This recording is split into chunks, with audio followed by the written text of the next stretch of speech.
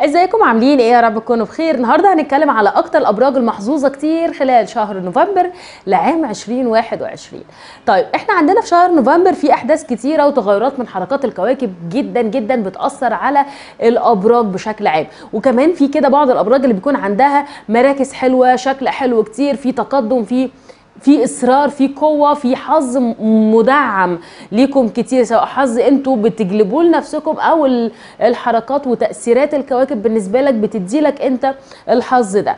طيب إحنا عندنا مجموعة كبيرة من الأبراج. على قد على فكرة ما في أبراج لازم تكون عندها حذر شديد قوي قوي قوي خلال الشهر ده. يعني الشهر ده بالنسبة لنا عندنا أبراج فيها حظ وفير كتير في مجموعة كبيرة من أمورهم الحياتية. وكمان عندنا أبراج تانية بيبقى عندها لا لازم تكون حذرة قوي قوي قوي قوي قوي في نقاط مختلفة. ده نبقى نتكلم عنه بعدين لكن خلينا نتكلم على النص الحلو وهو أكتر الابراج المحظوظة. طبعا الشمس هتكون موجودة عند برج العقرب وتأثيرات الكواكب كلها بتكون داعمة لبرج العقرب بعد يوم 6 في الشهر.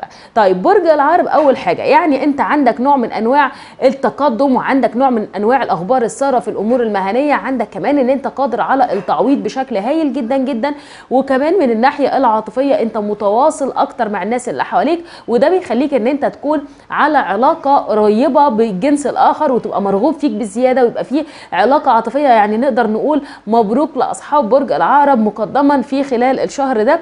بيحصل فيه علاقة توطيد لعلاقات عاطفية في أجواء عاطفية لذيذة كتير حتى كمان نسب الرجوع للماضي بتزيد معانا جدا جدا. طيب بالنسبة للأمور المهنية أنت عندك في خطوة إيجابية وتقدم هايل كتير. بالنسبة لنا الأمور المهنية فيها أجواء جديدة في حياتك فيها عمل جديد فيها عرض جديد فيها شغل جديد فيها إن أنت بتحاول تثبت نفسك أكتر. فإذا عندك كمان تقدم مهني بشكل كبير جدا. الأضواء مسلطة عليك وده بيخليك إن أنت عندك الثقة في النفس متزايدة. آه محسود ده ما ده ما فيهاش ما, ما فيهاش مفر لا مفر من ذلك.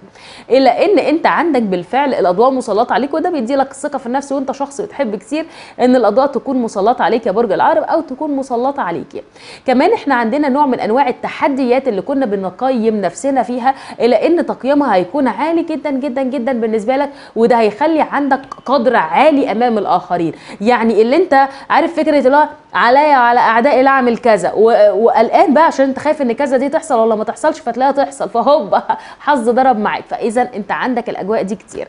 اذا البرج الأول من ضمن الأخبار أو من ضمن الأبراج اللي عندهم حظ وفير هو برج العقرب أكيد.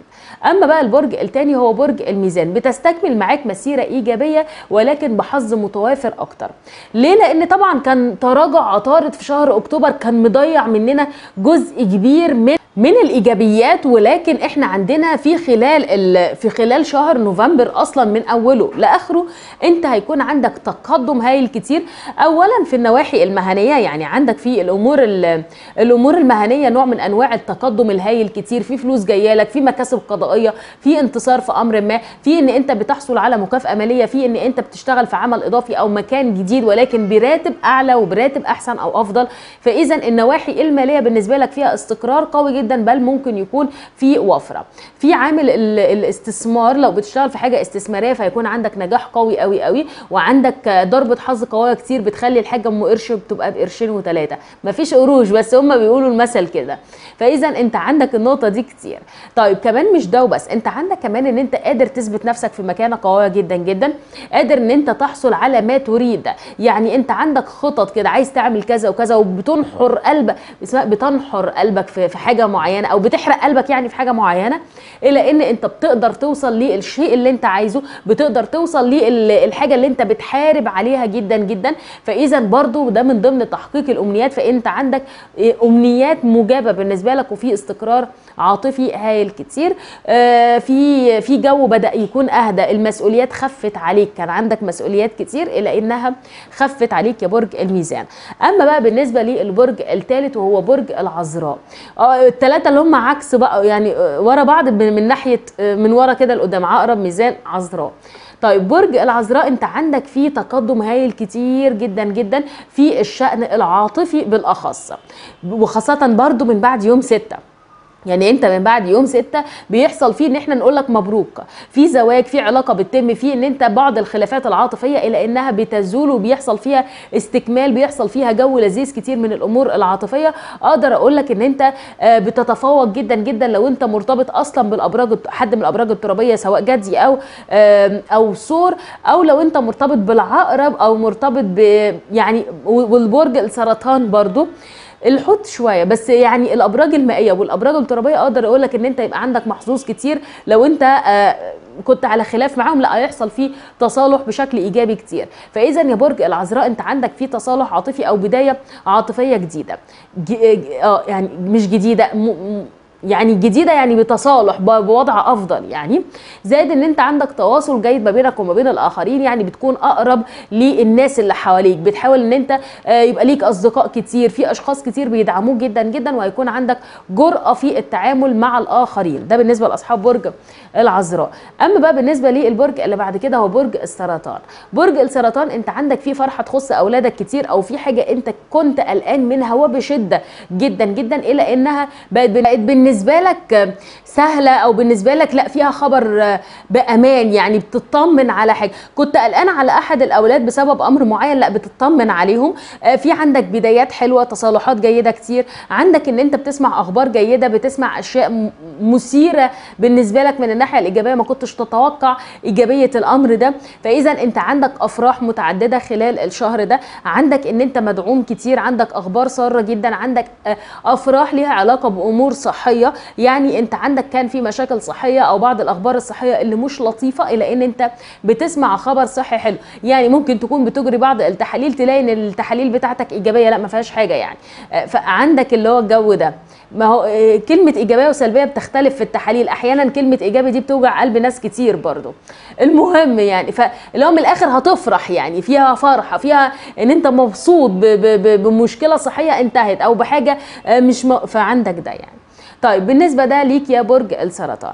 فإذا أفراح متعددة على ال- الأمور العائلية والحاجة التانية أمور صحية.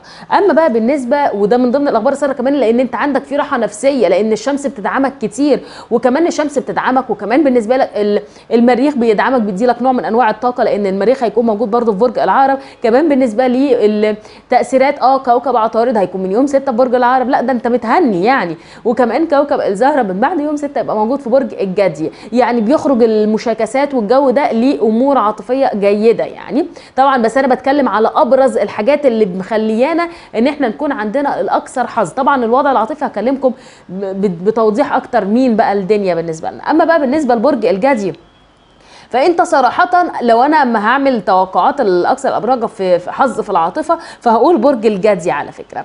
آه ويبقى من المرتبة الأولانية يعني. برج الجدي أنت من أكثر الناس حظ بسبب تأثيرات العاطفة وكمان بالنسبة لك بسبب تأثيرات ليها علاقة بشأن قوي كتير من التواصل ما بينك وما بين الآخرين وعلاقات صداقة بتكون وطيدة وبتعرف أشخاص كتير عندك زيارات حلوة عندك إن أنت في ظل الزيارات والتواصل ده بيكون في أخبار سارة بتلاقيها سواء مثلا حد بيجيب لك عرض مهني سواء أنت بتلاقي حب من خلال التواصل ده أو من خلال الأصدقاء الجداد. كمان بالنسبة لك إن أنت بتعرف خبرات آه، الآخرين يعني بتتعلم منهم بتسمع نصايحهم بتعرف آه، موقف زي كده ممكن آخد قرار فيه عامل إزاي بنتعلم منهم حاجات معينة. فإذا أنت عندك ده بيكون من ضمن الأشياء اللي هي اللي فيها حظ بالنسبة لك. زائد إن أنت مدعوم كتير يا برج الجدي. شايفة إن الشهر ده على فكرة هيكون أفضل من الشهر اللي وراه. يعني شهر نوفمبر أحلى من ديسمبر. بالنسبة لك. وكمان شهر نوفمبر أحلى من أكتوبر بالنسبة لك. فاذا هو شهر بالنسبة لي أنا إن أنا أقدر أقول لك إن أنت من ضمن أو من أكتر الأبراج المحظوظة برج الجدي. عارفة إنك تعبت كتير ولكن ولكن جه وقت تعويضك. أما بقى بالنسبة لأصحاب برج الجوزاء. برج الجوزاء هو ال- البرج السادس من أكثر الأبراج حظ. برج الجوزاء أنت عندك فيه حظ حلو كتير أو أنت مدعوم جدا جدا وده بسبب إن أنت عندك خطوات جديدة وبدايات مهمة وكمان استكمال لاشياء أنت استوقفتها. يعني حاجة أنت كنت ما كملتهاش أو حاجة آه، ليها علاقة بعروض ما تمتش ما حصلتش لسه أخبار لسه مجرد خبر مش حقيقة إلى إن بتبقى حاجة حقيقية. زائد إن أنت عندك انتصار على أعدائك وانتصار على أشخاص آه، حاسودين أو حقودين أو غلويين والغل بيصنع كوارث. ولكن أنت بيكون عندك إن أنت بتقدر تنتصر على الأشخاص دي. أنت بالنسبة لك كمان إن أنت منتصر قوي على ال- في الأمور العاطفية. يعني أنت في قوة في تميز بالنسبة لك كبير جدا. برج الجوزاء أنت عندك فيه إن الخطوات أو في كتير من الناس اللي بتاخد خطوات ضدك بتصب في مصلحتك. يعني عارف زي بالظبط اللي بيحفر لك حفرة هو اللي واقع فيها بل بالعكس انت بتتقدم بيها. فاذا دي برضو أنا بشوفها انها بت بتخلي ان يكون الشخص من أكثر الابراج حظ ان انت كنت هتقع لا بتقوم. فدي دي حظوظ حلوة كتير.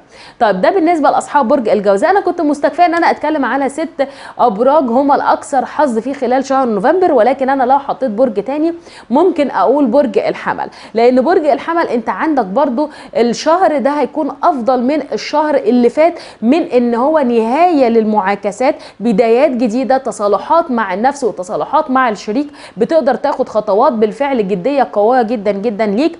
آه، شايفة إن هو هيبقى يعني يعني هيبقى شهر أحسن من قبله بالنسبة لك لكن مش اللي هو مش أحسن من اللي بعده. يعني أنت أواخر أواخر نوفمبر أقول لك أنت من أكتر الأبراج حظ جدا جدا.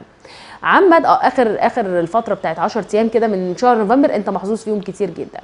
عامة أنا بشكركم جدا بتمنى كتير إن كل الأبراج تكون محظوظة بتمنى كتير إن كل الأبراج تكون واخدة بالها من فيديوهات النصائح اللي هنعملها عشان تقدر إن أنت تملك الحظ المتكامل. عليك إن أنت تعرف كده بعض التحذيرات البسيطة إن إحنا لو خلينا بالنا منها مش هنقع فيها. بشكركم كتير وبحبكم جدا. ما تنسوش اللايك والشير والاشتراك في القناه وتفعيل الجرس. سلام.